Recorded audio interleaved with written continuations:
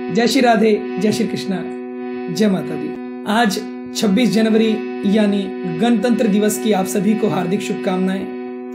फौजी भाइयों के लिए डोगरी और पहाड़ी लोकगीत के साथ एक छोटी सी हाजिर लगाएँगे। आइए, मिलकर लगाते हैं ये हाजिर।